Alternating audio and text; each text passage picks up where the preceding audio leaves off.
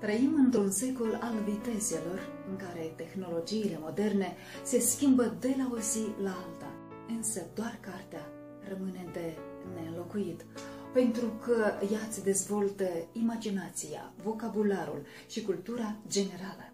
Nu în zadar și Confuciu spunea că dacă vrei să nu capitulezi în fața ignoranței, fă timp liber pentru a citi oricât de ocupat ai fi. Iar pentru a reuși acest lucru, fii deștept și ia un card inteligent pe gratis oferit de Biblioteca Bogdan Petricei cu Hașteu și toate filialele ei. De asemenea, vei avea parte de o gamă largă de activități. Așa că fii deștept și ia un card inteligent.